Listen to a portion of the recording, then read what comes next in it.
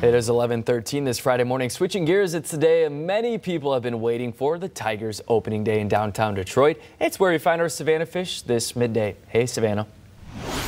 It's a great day to be a Detroit Tigers fan. Today we are at Comerica Park for the season home opener as the Tigers play the White Sox. This is really an exciting day given the fact that this is the first regular season home opener since 2019.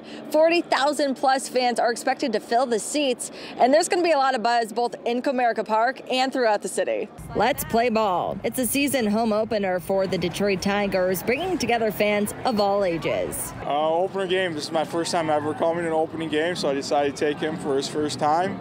Pulled him out of school and said, let's go party. For Metro Detroiters, opening day is a holiday. Kids skip school, adults skip work all in the name of celebrating their team. We are the Manugian family. My dad started this. His name is Carl Manugian. For my entire life, opening day has been the most important day of the year in my family. It's all about tradition, and fans are just happy to be back after some not so traditional seasons due to the pandemic. It was really sad, you know. You got the mask on, and you don't can't put your cat face on and have a good time. And now it's nice to see everybody out and about and smiles on their faces. Three, two, one. Go, Go Tigers! Tigers! Go Tigers! Go